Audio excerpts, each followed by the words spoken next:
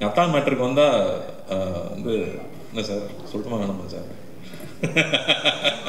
நீ ரொம்ப பேசுவ அப்படின்னாரு முதல்ல. வேறு வழியில் சார் இந்த படத்துக்கெல்லாம் பேசி தான் ஆகணும். ஏன்னா வந்து அந்த ஃபோன் கான்வர்சேஷன் பற்றி தான் நான் முக்கியமாக சொல்லணும்னு நினச்சேன். ஏன்னா அப்போ தான் நான் ஷூட்டிங் இல்லை. மற்ற நாள்லாம் கூடயே தான் இருந்திருக்கேன். அப்போ தான் நான் தொல்லை பண்ணுறேன் பக்கத்தில் இல்லாததுனால அந்த காட்சிகள் நான் ஸ்க்ரீனில் பார்க்கும்போது அப்படி இருந்துச்சு. இங்கே எல்லாரும் சொல்லிட்டு இருந்தாங்க ஒரு ட்ரூ கலர் போட்டால் நம்பரை கண்டுபிடிச்சலாமே நம்பர் கண்டுபிடிக்கிறது இந்த கதை கிடையாது. அது கிடையாது. என் மேலே இவ்வளோ அன்பாக இருக்கான். எனக்கு அவனை தெரியல. அதை நான் மறைச்சிருந்திருக்கேன். அப்போ நான் எவ்வளோ ஒரு தப்பானவன் நான் எவ்வளோ வந்து எனக்கு வந்து நான் ஒரு தப்பு செஞ்சுருக்கேன். அந்த தப்பை நான் அவங்ககிட்ட சொல்லி மன்னிப்பு கேட்கணும்னு நினைக்கிறது தான் இதில் இருக்கிற அந்த பெரும் ஒரு பெரிய விஷயமா நான் பார்க்குறேன். டக்குன்னு நம்பர் தெரிஞ்சுட்டே எனக்கு தெரியல அப்படின்னு சொல்கிறது கிடையாது. நான் மன்னிச்சிரு நான் தப்பு பண்ணிட்டேன் நான் மோசமானவன். எனக்கு உன்னை தெரியல அப்படின்னு சொல்கிறது ஒரு உண்மை இருக்கு இல்லையா? அது அந்த கண்ணில் பார்த்தேன். அந்த ஒவ்வொரு வார்த்தை சொல்லும் போதும் பார்த்தேன்.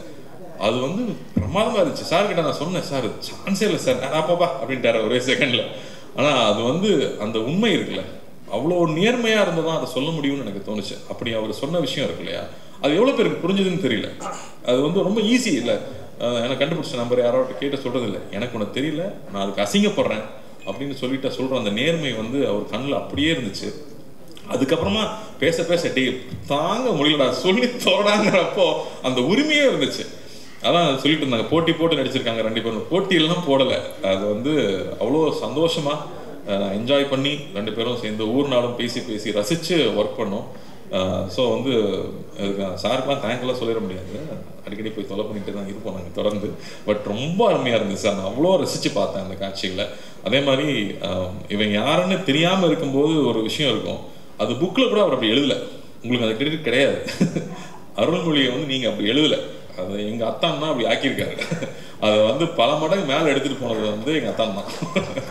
அவ்வளோ பியூட்டிஃபுல்லாக அதை லேயர் லேயராக புரிஞ்சுக்கிட்டு இந்த கேரக்டர் எப்படி இருக்கணும். அவர் வந்து ஒரு சர்ஃபேஸ் லெவலில் அவன் வந்து ஒரு மரம் மாதிரி தான் எழுதியிருந்தார். எல்லாம் எல்லா உணர்ச்சிகளும் அற்று போன ஒரு மரம் மாதிரி தான் அந்த அந்த கதாபாத்திரத்தை எழுதியிருந்தார். அப்படி இல்லாமல் உணர்ச்சி பூர்வமாக வந்து அது ஃபஸ்ட்டு எப்போ ஓப்பன் ஆச்சுன்னு எனக்கு ஞாபகம் இருக்குது யார் ஃபஸ்ட்டு குளிச்சுட்டு வராங்கன்னு பார்ப்போமா? பார்ப்போமா அப்படின்னாரு. நான் ஃபஸ்ட்டு ஆடி போயிட்டேன். இப்படி இல்லையே அப்படி எழுதலையே அப்படின்னு. அப்போ தான் வந்து திரும்ப எனக்கு நாங்கள் ஊருக்கு போனால் எப்படி இருப்போமோ? அப்போ வந்து எப்படி ஒருத்தன் இழகிறான் அப்படிங்கிறத வந்து அவர் மைண்டில் வச்சுக்கிட்டு ஸ்டேஜ் பை ஸ்டேஜ் அவர் கொஞ்சம் கொஞ்சமாக கொஞ்சம் கொஞ்சமாக கொஞ்சம் கொஞ்சமாக அதில் இருந்து வெளியே வந்துருப்பார். இல்லை நான் சொல்லி தான் ஆக முடியாது. இவ்வளோ பேர் இருக்காங்களே நான் சொல்லி தான் ஆகணும். வேற எப்போ சொல்கிறது ஸோ பியூட்டிஃபுல்லாக பண்ணியிருந்தீங்க sir love you sir and இந்த தருணத்தில் எனக்கு இவ்வளோ நேரம் டைம் கொடுத்து பேச அனுமதிச்ச உங்களுக்கும் uh, ரொம்ப ரொம்ப ரொம்ப நன்றி. நிறையா